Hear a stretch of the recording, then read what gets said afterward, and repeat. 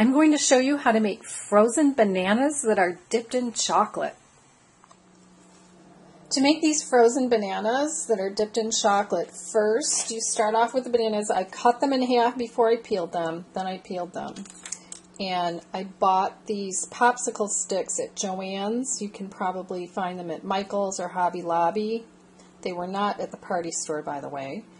And while the bananas are still fresh and not frozen, I'm going to stick a stick into each one pretty far. And I have a cookie sheet tray that will fit into my freezer and a piece of wax paper. So I'm going to put a stick into all of them now. Whoops. I'm doing it left-handed. That was dumb. I'm right-handed. Okay, so this one's breaking. So we just learned a lesson, everybody. Maybe when it freezes, it'll freeze together. So this is a new project for me that I've never tried. So you want to carefully put the stick in and not go through. So that's part of the trick. Uh, I don't know if that one's salvageable, but actually I'm going to turn it so that I can use my right hand. I don't want to do that again. And um, after these are in the freezer and frozen, which I'm probably going to let them freeze overnight, then I'll dip them in chocolate and freeze them again. Okay, so now the sticks are in there. And by the way, I'm using bananas that are ripe.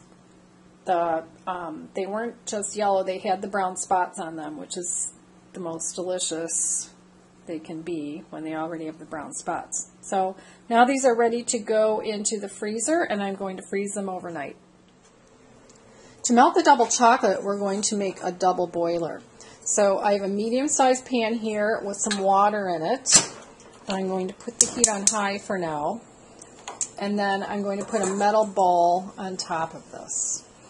And then we're going to use semi-sweet chocolate. So you can use chocolate chips if you want. You can use, um, let's see, I have some baker's chocolate here too. You can use semi-sweet candy uh, that you get from the candy section. A lot of the, um, I want to say, a lot of the um, craft stores have a candy section now so you can use this. Um, these only come in four ounce bags. Um, now the amount that you do, I'm just eyeballing it. Um, and I'm putting it into the bowl here. Um, the thing is, if you're just going to dip the frozen bananas, you're going to wind up with a lot of chocolate left over and then think about another thing that you want to do with the extra. Or you can just, once it melts, you can pick it up with a spoon and drizzle it on. Then the other thing I'm going to do is put about a teaspoon of um, Crisco in here, or in the candy section of the um, craft stores, you can buy a little bit of paraffin, which is used for candy making.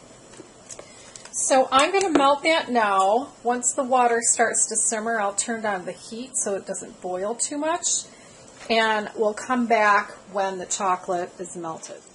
The chocolate is melted now. I use a silicone pot holder to hold the side of the bowl. So you can see the consistency here. I want it to be kind of drippy. That's the thing. I don't want it to be overly thick.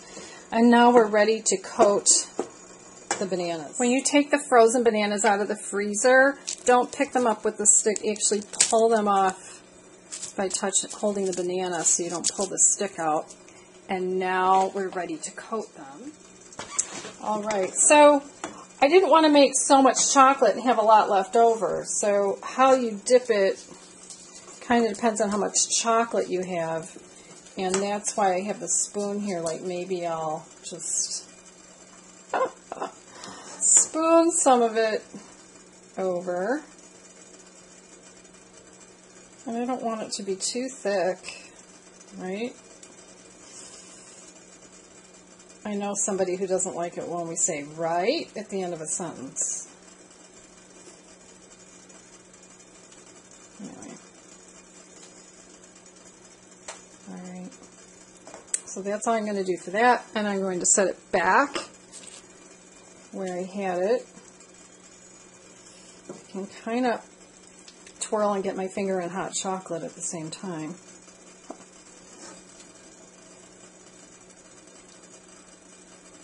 So if you have any ideas for leftover melted chocolate, when we're doing something like this, please write it in the comment section. I'd like to know what that is.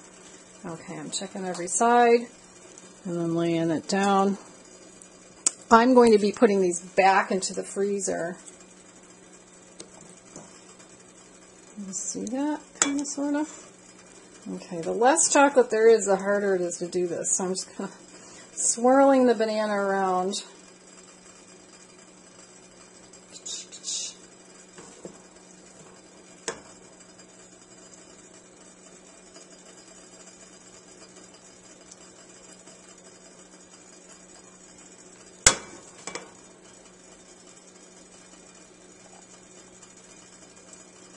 I'm trying to not be such an amateur. But that's why I do these videos, because I'm an amateur. Alright. So you get the idea. And I don't want the chocolate to get overcooked. So I'm going to turn down the heat. And Leave the banana in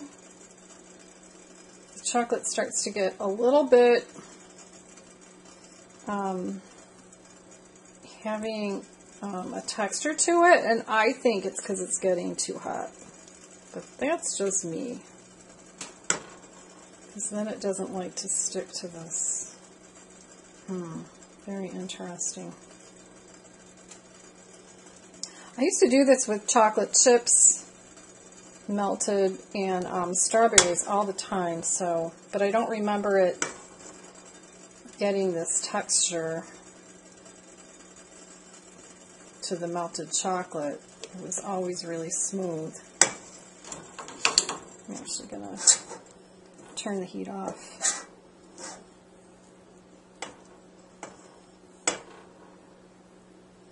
So some of you who know more about melted chocolate than I do Okay, don't even look at this one.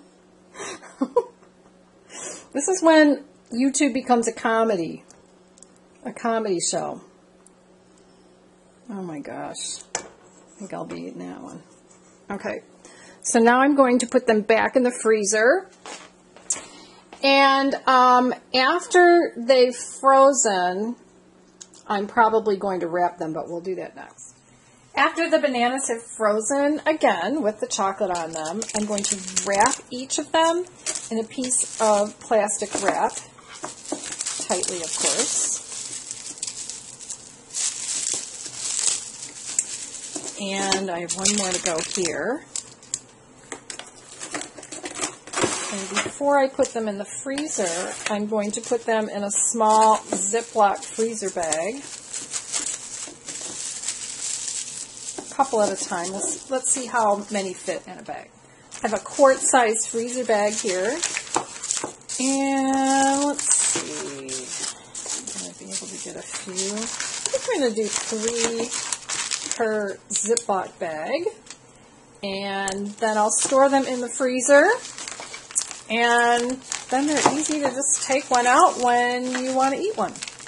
Um, these are really going to be good. If you prefer milk chocolate, then use milk chocolate.